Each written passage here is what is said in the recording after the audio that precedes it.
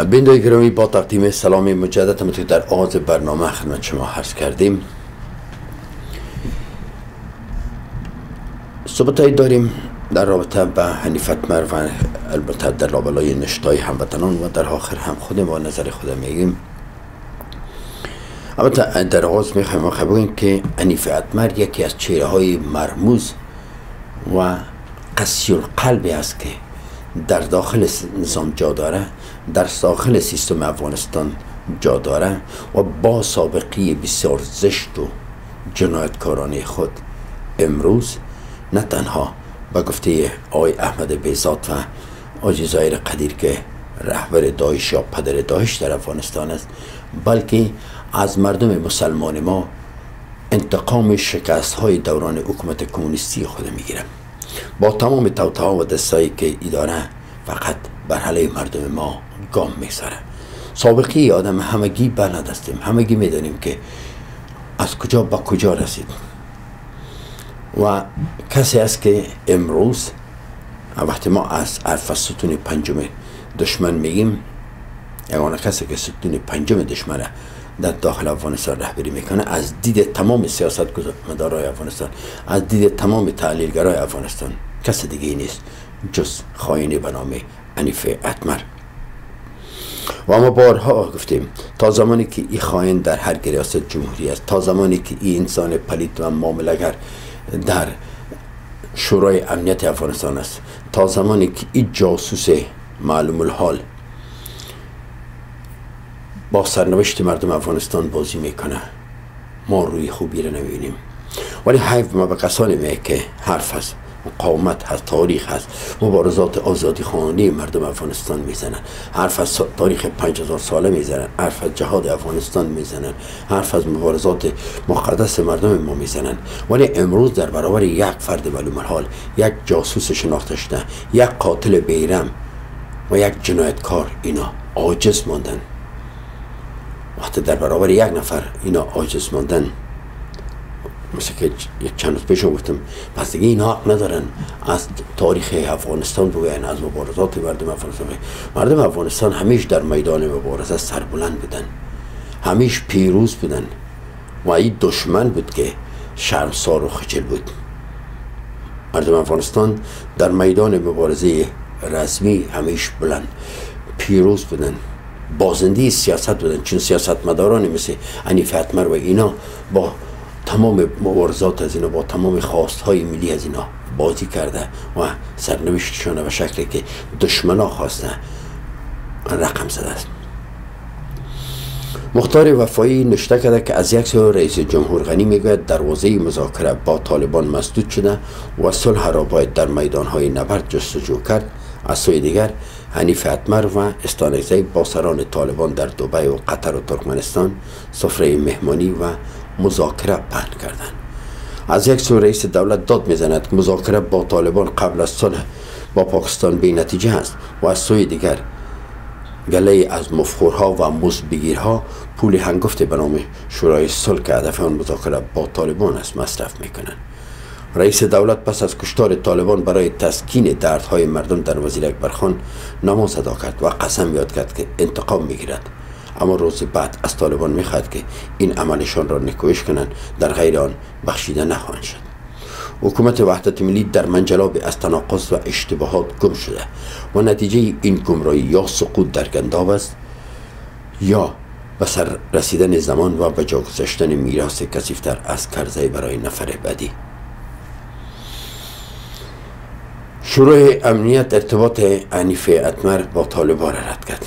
شورای شورای صلح نه تنها مرجعی است که رهبری مذاکرات صلح را به دوش دارد و دفتر شورای امنیت ملی به رهبری مقام عالی ریاست جمهوری از تلاش ها و فعالیت های این نهاد پشتیبانی می کند شورای امنیت در واکنش بر ارتباط مشاور امنیت ملی و رئیس عمومی امنیت با طالبان در اعلامیه یارده است که خبرگزاری اسوسییتد پرس گفتهایش را از منبع نامعلوم ارائه کرده است.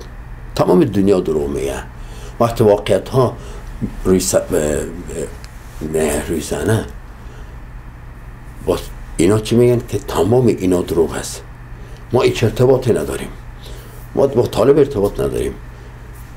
آقای حتما رو استانی زیم ما طالب نمی‌شناسیم. این شورای سال است که باش باید بره با طالب مذاکره کنه. اما وقتی که گلبودین حکمتیار میایه از لغمان و از باغ یعنی فتمر بلند میشه میای به کابل.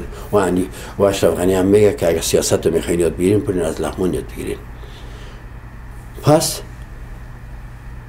تمام دنیا یک طرف و ای ستون پنجم و ارگ ها یک طرف. دنیا دروغ میگه این چهار پنج نفر با لباس های کنه و فرسوده و نو ریش های خود زنده می‌خوایم. بچه مردم داخل شدن و بگین که نه. ما راست میگیم دنیا دروغ میگه. اعلامی افزوده است که برای وضاحت بیشتر انیف حتمت در نشست های رسمی و در گفتگو با رسانه ها همواره گفته است که حکومت جمهوری اسلامی افغانستان متحد به انجام گفتگوهای هدفمند با طالبان است. و همواره دروازه گفتگو برای مخالفان مسلح که از خشونت دست برمیدارند باز خواهد بود. شورای صلح تنها مرجع است که رهبری مذاکرات صلح را به دوش دارد. و دفتر شورای امنیت ملی به رهبری ریاست جمهوری از ها و فعالیت های این نهاد پشتیبانی می‌کند تا چند پیش هم گزارش های وجود داشت که معصوم استانیزی رئیس امنیت و انیف اتمر مشاور شورای امنیت با طالبان در تماس هستند. خب بود اعلامیه که اینا رد کردن که ما ارتباط نگرفتیم. و دیروز انیف اتمر خودش یک اعلامیه صادر کردن اعلامی رفتر شورای امنیت ملی. می‌خوام با احترام تمام کسی که اصلا احترام نمی‌شناسه و هموطنانم یادآور شوم. اینکه شمار از علاقات استخباراتی که دشمنی ژرف با ملت و دولت افغانستان دارند از چند به این سو جنگ روانی و فکری خاص را در برابر مردم شریف دولت و رهبران سیاسی کشور را اندازی نبودند هدف این این حلقات خبیسه این است تا اتحاد و اتفاق میان مردم و رهبران سیاسی کشور را صدمه برسانند و به این گونه مبارزه مشترک و متحدانه ایمان در برابر اراسافگنی را متضرر کنند. علاقات استخباراتی دشمن به همین منظور کانال های مجهول اینترنتی مانند وبسایت ها آدرس های شبکه های اجتماعی و غیره را ایجاد نمودند و زمین را به گونه سیستماتیک دست به انتشار دروغ شایع پراگنی نفاق و بیباوری میان مردم می‌زنند. در هفته گذشته همین علاقات مغرض به آدرس شخص خودم و شمال دیگر از سیاسین محترم کشور دروغ و شایعات را به نشر رساندند. این شایعات در نوشته های گوناگونی آمده است که در نوشته زیر نام گفتار علنی و تاریخی محمد علی فتمر در مظهر طرفدارانش و نشر رسیده است. من این شایعات را رد می کنم و از سخت نکویش می کنم مطمئن هستم که مردم اوشیار و دانای افغانستان به این ها و شایع پراغنی های دشمنان این سرزمین باور نمی کنند علیفه حتما می گرامی در طی مخصوص سالهای اخیر صدها نوشته صدها مصاحبه برای ما شاید بدیم که که انیف فتمر صدها صفحه فیسبوک پولش میده تا بین مردم ما و نام های مختلف تفرقه ایجاد کنه. جواسیس خود در داخل افغانستان پول میده تا مردم در ترس و وحشت نگه داره. همون دوابست های خواهینشان در تورنتو ات آمدن و اینا مردم تا در فیسبوک تهدید می‌کنن که ما مانی کارتان میشه به غیر از شما. اگر نکردین برف ما گوش باید ما می‌فهمیم چی کار کنیم. اینا کسایی هستن مثلا انی فتمر که سابقه اینمو تو یک خیانت و جنایت و استخبارات داره. خب شخصی که در خود دولت فاسد کمونیستی مسئول شکنجه هموطنان ما بود. کسی که عضو کیجیبی بود کسی که دوباره رفت پاکستان و به دامن آیسای پناه برد از اونجا به کلیسای ناروی رفت پناه برد و خود تسلیم کلیسا کرد و از اونجا پس آمد به ملکه انگلیس پناه برد و از اونجا بعد از می آدرسی آمد به گرده ملت نشد شد. از چون این شخص خواهین ما چی انتظار داشته باشیم امروز مردم ما اگر در برای حرفای برای انیفت بر میگن با شناخت کامله که از این خواهین دارن میگن. امروز مردم افغانستان خوب می‌فهمند که اینو تو که انیف اتمر گلبودین تربیه کرد و آورد امروز عرفای گلبودین مانند زهر است که بر جامعه پاش داده میشن دیگه خواهینی رو تروریست امروز هم او حمایت می‌کنه. اگر واقعا انسان به حرفایش خواهیم بود صادق باشه اگری واقعا به مردم ما بیندشه اگری واقعا رهبرای سیاسی رو به گفته خودش احترام کنه اگری واقعا به دولت دست نشاندی که روز ما داریم احترام قائل باشه. چطور در برابر حرفای گلبدین سکوت اختیار می‌کنن؟ وقتی گلبدین میه میگه که عملات انتحاری و انفجاری رواز مقدس است و باید ادامه داشته باشه گلبدین اتمر میاره بینای گراوی تا امروز چرا دولت فاسد غنی و عبدالله و اتمر خاین در برابری حرفای گلبدین اعتراض نکردن؟ حرف می‌زنن که ما در برابر تروریست مبارزه می‌کنیم. ما در برابر دهشت افغان مبارزه می‌کنیم. مردم ما رو تخریب می‌کنن. نمی‌گذارن که ما با تروریست مبارزه کنیم.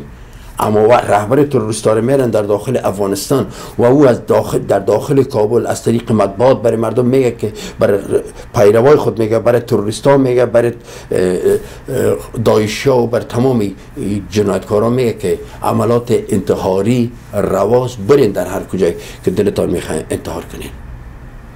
سکوت در برابر ای گفتار حکمتیار بیندای گرامی عزیز شما چی معنی میده؟ شما خودتان ببین.